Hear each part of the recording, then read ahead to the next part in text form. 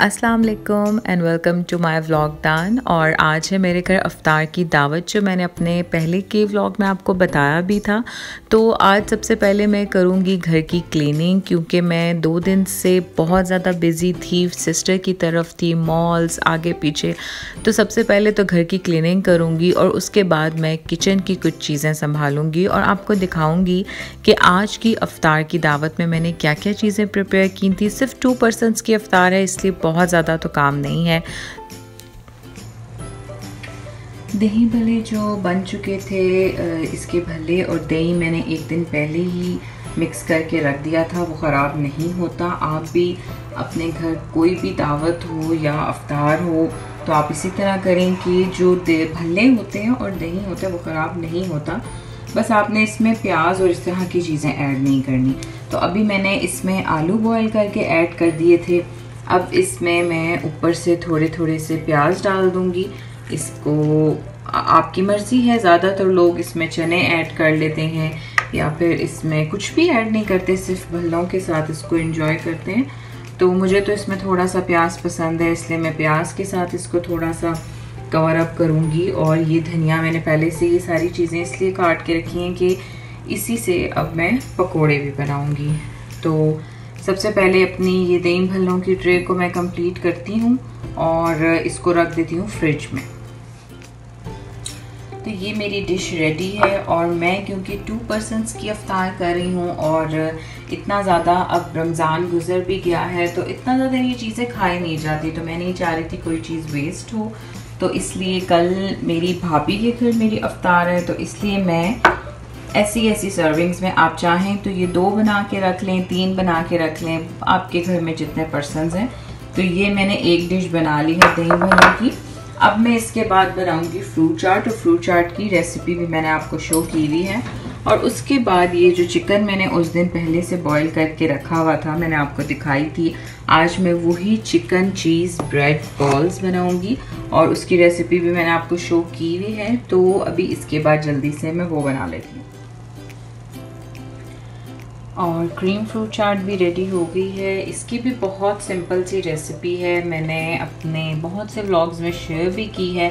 बस इसमें आ, सारे फ्रूट्स और इसमें क्रीम डलती है और मैं तो थोड़ी सी ब्लैक पेपर डालती हूँ और थोड़ी सी स्टीविया तो बाकी आप कोई भी फ्रूट इसमें ऐड कर सकते हैं और इसकी डिकोर करें जैसे मर्ज़ी। मेरे पास ये विप क्रीम पड़ी हुई थी। तो इसके साथ मैं इस तरह से इस पर यह बना दूँगी। और ये आप कोशिश करिए कि ये बिल्कुल एंड टाइम पे ये बने, क्योंकि ये थोड़ी देर बाद बिल्कुल ही बैठ जाते हैं। तो इस तरीके से क्रीम फ्रूट चाट भी मेरी रेडी है।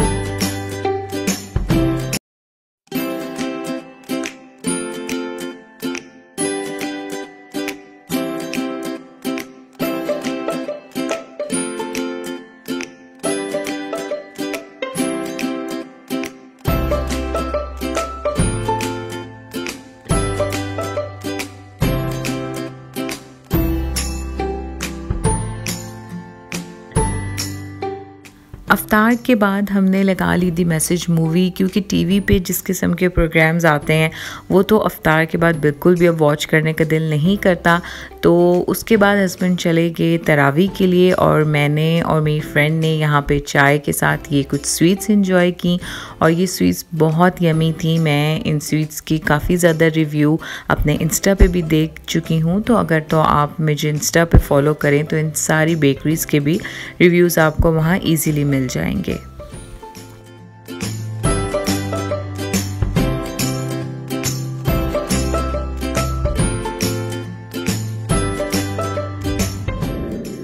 हस्बैंड जब तरावी से आए तो हमने सोचा कि हम हयात मॉल चलते हैं। यहाँ पे मैंने काफ़ी दिन पहले देखा था कि इन्होंने बहुत अच्छा रमज़ान से रिलेटेड अपने सारे मॉल को डेकोर किया हुआ है, लेकिन मैं इस मॉल में अभी तक गई नहीं थी रमज़ान में। तो जब हम वहाँ पे गए और डेकोरेशन तो बहुत खूबसूरत हुई हुई थी। वैसे भी यहाँ पे रमज़ान में मैंने आपको पहले भी बताया था कि सऊदीया में यहाँ के मॉल्स यहाँ की बिल्डिंग्स को रमज़ान में बहुत अच्छा डेकोर किया जाता है। लेकिन क्योंकि कोविड की वजह से ये चीज़ें उस तरह से नहीं हो पा रही थी तो अभी ये वाला मॉल है जो सबसे ज़्यादा डिकोर हुआ हुआ है। लेकिन यहाँ पे जब हम एंटर हुए तो बहुत ज़्यादा हमें पार्किंग में मसला हुआ और इतनी ज़्यादा हमने यहाँ पे रश देखी। लेकिन हमें यही लग रहा था कि एटलीस्ट हम एंटर तो हो ही जाएँगे।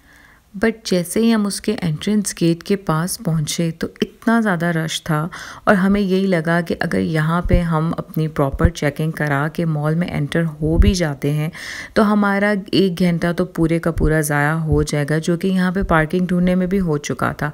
तो इसलिए इस मॉल को तो हमने सोचा कि अंदर से देखने का भी कोई फ़ायदा नहीं है, क्योंकि अब क्योंकि रमज़ान के एंड करीब आ रहा है, ईद करीब आ रही है तो बहुत ज़्यादा यहाँ पर रश होगा। तो इसलिए उस वक्त हमने डिसाइड किया कि हम पैनोरामा मॉल चलते हैं। रियाद में काफ़ी ज़्यादा मॉल्स हैं जो रमज़ान में डेकोर किए जाते हैं और काफ़ी ऑफ़र्स भी इस तरह की होती हैं, लेकिन फ़ूड पर। तो इसलिए जो है हमने आज शहरी बाहर करनी थी तो हमने सोचा कि हम पैनोरामा मॉल चलते हैं।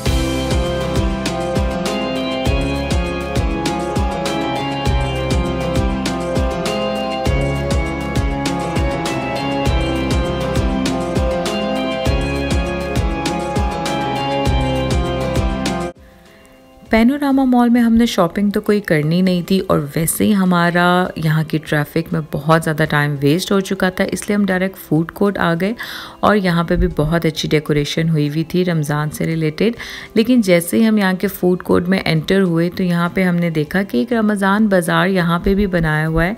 जैसा कि मैंने आपको अलकसर मॉल में दिखाया था कि वहाँ पर पुराने सऊदी कल्चर की कुछ चीज़ें थी, लेकिन इस बाज़ार में जो कि यहाँ पैनोरामा मॉल में था।